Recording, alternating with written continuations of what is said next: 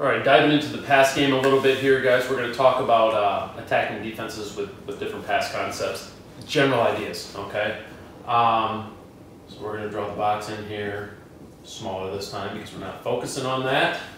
Um, and let's just draw, well, first of all, let's just draw a two receiver set here. Understand that when, you, when you're dealing with most zone defenses, there's really two layers to that canopy, of that zone. Um, there's the linebacker, lower level, okay, and, and yeah, the corners or safeties can be involved in that. But there's that lower level, which involves the hook zones, the flats, that middle drop. And then there's the deep zone, which is where you get your deep thirds, deep halves, deep quarters.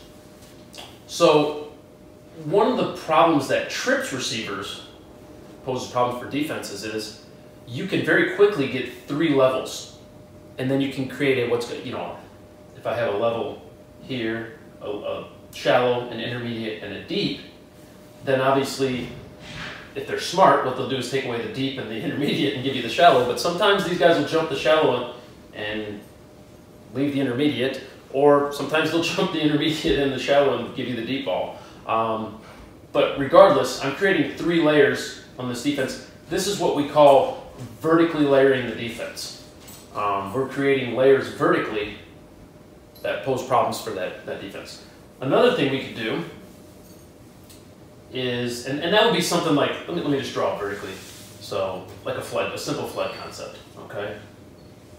Like a 12 yard out, and a 5 yard out, 4 yard out, okay? Deep ball, intermediate, shallow. Flat player out here. There's one flat player. Does he want to play the back half of the flat and give up this throw, or does he want to jump this throw and we throw it in the bucket over the top to the intermediate?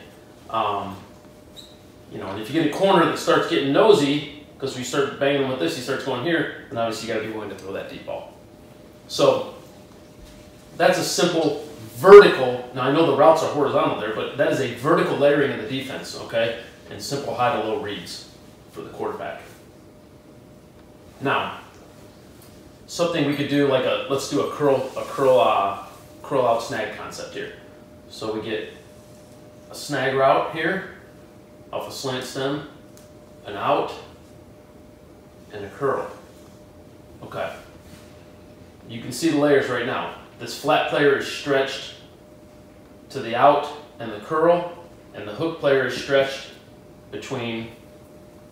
So I got my hook player that's sitting in here, and I got my flat player that's sitting out here. Poses problems. This would be a horizontally layering the defense. You know, if this guy jumps here and the flat player jumps the curl, then we have the out. If the flat player jumps the out, hook player jumps the hook, we have the curl, and vice versa. Okay, depending, you have three on two essentially. Um, that would be horizontally layering the defense. Now, I would argue this, and I think as a as calling pass plays, your pass plays have to have something. Each one of them has to have something that comes off of them that gives you a deep threat. And what I mean by that is, so let's let's take that example again. We're playing cover three, okay? So we got a hook curl backer here, we got a flat player here, okay? So we got a deep third, we got a flat, we got a hook drop, okay? So let's run that same concept. Curl, snag, out, okay? Very simple, very commonly used concept. Everybody does something like this. Okay. Now what they're going to get smart, if you're a team that runs this concept a lot, you're going to tell your hook guy to match up on that snag route. Tell your flat guy to chase the out, and tell your corner to rob the curl. So when you're saying robbing something as a defensive guy, you're saying take it away. So the corner starts robbing the curl. Well, they got it covered up now.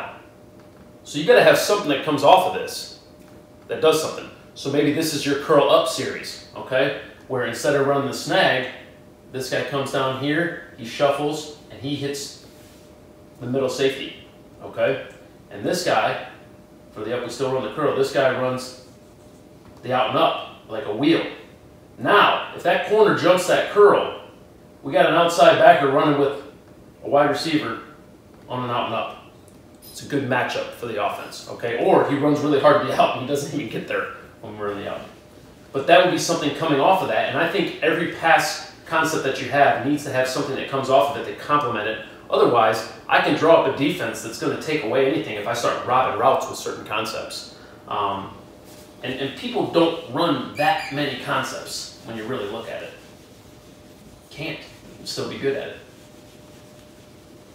Okay. Went over that, went over that. Oh, very quickly. Um, so when you're dealing with man-to-man, what you want to run is quick breaking, uh, timing routes, slants, outs, throwing them off the cut, um, or, or matchup type routes, you know, fades, uh, where, you have, where you think you have a good matchup. Double move routes would be another good thing. So like uh, post corners, tough route man-to-man to cover. Um, hitch and go, hitch, because they're going to be soft with the hitch usually because they're going to give you the hitch. So these are these are things you run man-to-man. Versus zone, we're going to try to layer. Um, I'm just going to give you a quick example. Uh, let's say cover three here, safety, corner, corner, and let's just draw this half of the field. We got our hook player. I'm going to draw it as a hook player here. We got our flat player.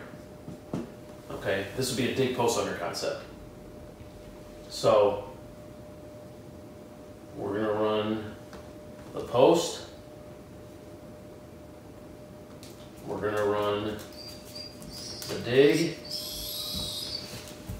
Mm. We're going to run the under. Okay, and you can run any combination of this. So dig post under. So now what we have is, again, vertically layering, three layers on two layers, okay? And we see, hey, and over here maybe we run something where we have like a uh, slant. All right, or a snag inside there. Good.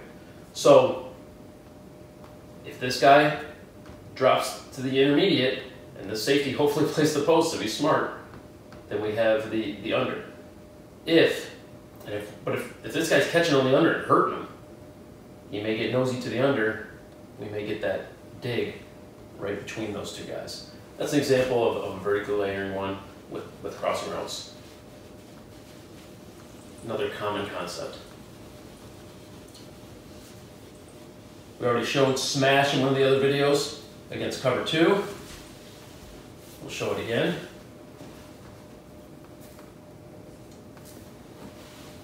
Corners are down in cover two, they're trying to funnel inside.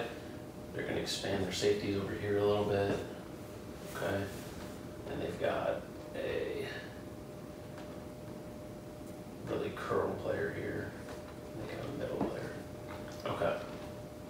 So we're running smash. So we're going to go hitch, corner,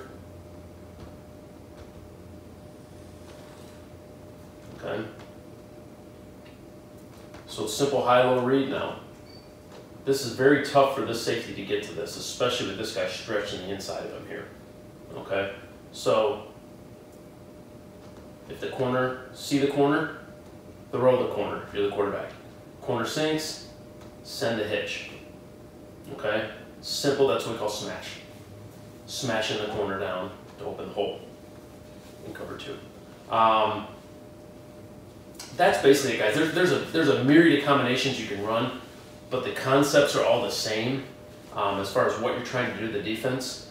You're either trying to, you know, create vertical layers or create horizontal layers, and then again have a complementary route that comes off of those um, that allows you to, to do something if they are robbing your routes.